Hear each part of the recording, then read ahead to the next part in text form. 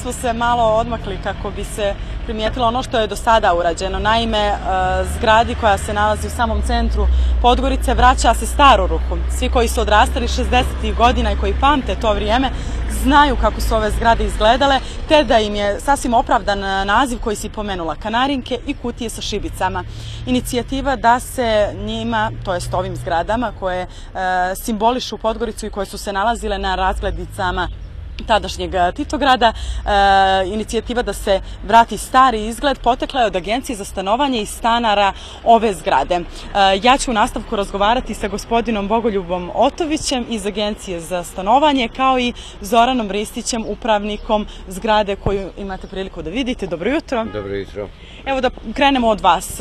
Kako je došlo do inicijative da kanarinke opet budu kanarinke? Ovako glavni grad i agencija za stanovanje već duži period ima akciju za ljepše lice Podgorice. U 2018. godini bilo je projektovano da se na ovoj stamenoj zgradi u Miljana Vukova odradi sanacija fasade kao u dotičnim zgradama. Do čim na inicijativu stanara oni su zainteresovani bili za dodatne radove koji su iziskivali i veći obim poslova. To jest da se uradi aktivna fasada ljepilom Mrlice Bavarit, koja im je ujedno poboljšala uslove stanovanja hidroizolateski i termoizolacijom.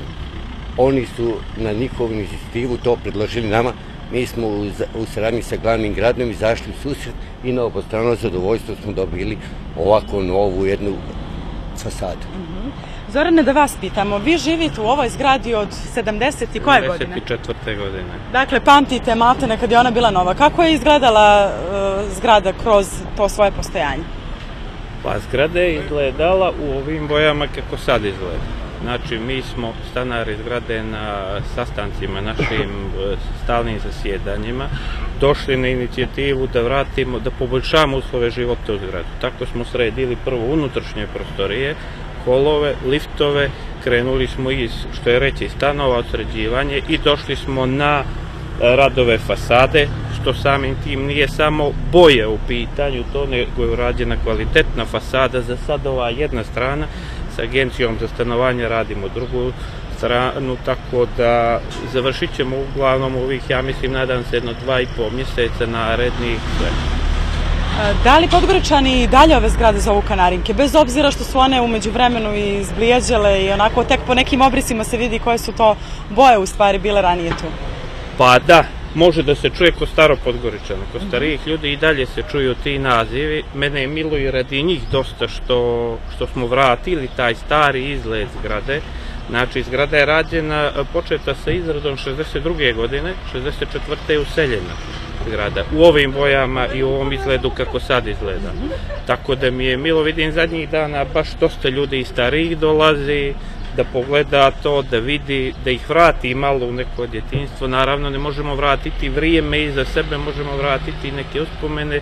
Taj centar Podgorice, da bude centar Podgorice, e, zgrade su stvarno bile prepoznatljive u to davno neko vrijeme bivšeg TikTok Što se tiče naziva, ko su ti ljudi koji u stvari daju, kako nastaju ti specifični e, nazivi zgrada? Jer ona je kasnije e, nazvana e, kutija za šibice. Da li to onako nekako nastane narodski ili kao neka legenda postoji? Pa ja mislim da je to narodski humor koji je poznat u Crnoj Gori i kod staropodgoričana, već koji su odavno tu da su davali te nazive i drugim zgradama po Podgorici i Petudovica, i Pendreci, i dosta tih vampirica, vampirice. i i tako da je to ovaj, neki njihov domišljato s lokalnog stanovništva gdje su svim ovim malo atraktivnijim zgradama dali limuni, naranče i tako da je i ova dobila u tom vremenu. Vjerovatno dok su te boje bile izraženije da su izvali kanarinke, a možda ne stanku te boje su ostale kutije šibice i tako. Sad čuo sam gospodina e, Ristića da bi trebalo za dva i po mjeseca da se yes. završi komplet fasade, ali pa tako? tako, sad idu ove ljetne vrućine, u zavisnosti od tih vremenskih uslova koje moramo da pratimo, da kvalitet radova bude ovaj na nivou, mi ćemo se prilagođavati vremenskim uslovima i nadamo se da ćemo za jedno dva i pol mjeseca, da kažem tri, da će ova ovo, soliter biti završen. E, što se tiče drugog e, identičnog, da li e, imate možda već neke sugestije od strane e, stanara koji žive u e, toj zgradi e, da se napravi nešto slično? jer mislim da bi bio onako pravi komplet, onda bi bile baš kanarinke u množini. Pa ovako, mi imamo nekih poradičnih interesovanja od samih stanara, ali nadamo se da će ipak, kad se završi ovaj soliter, sami da vide koliko, koliko je razlika i da će i oni se angažovati i mi smo tu da uvijek izađemo susret ne samo ovim, nego svim skupštinama stanara u ovom gradu, za ljepše lice Podgorice ili poboljšavanje uslova stanovanja. Gospodine Ristiću, evo da nam ne, ne promakne važan detalj, a, kaže, rekli ste mi da je ovo prvi solitar u Podgorici, je li tako?